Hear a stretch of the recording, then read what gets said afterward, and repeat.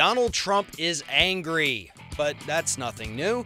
His latest man child hissy fit is over his lack of Secret Service protection. According to an interview with The Hill, Trump is upset because he feels that he deserves Secret Service protection for two reasons. The first is because, according to Trump himself, he's pulling in larger crowds at events than anyone else ever has. This is obviously not true, as both Bernie Sanders crowds and Barack Obama's 2008 crowds dwarf Trump's numbers. The second reason that he gave was that President Obama got Secret Service detail in June of 2007 before the primaries began, and he feels like he's being denied protection simply because he's a Republican. First of all, Donald, according to the Department of Homeland Security, your campaign has not even filed a petition to receive Secret Service protection.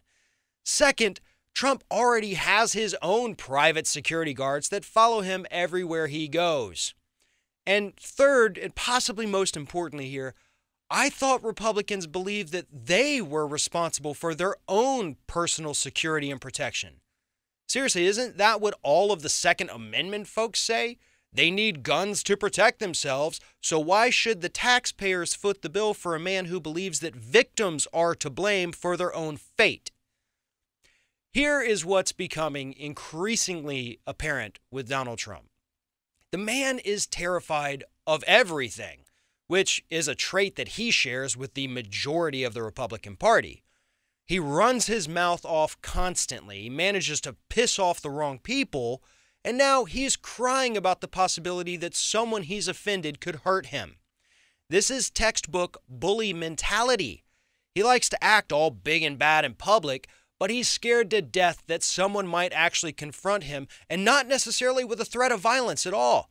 Trump doesn't even like for people who disagree with him to approach him. If Trump honestly wanted Secret Service agents to protect him, he would file the paperwork and then it would be granted. But instead, he wants to play the victim in the media. He wants people to feel sorry for him and then complain that there's some sort of partisan conspiracy to put him in harm's way. He is absolutely just beyond pathetic at this point.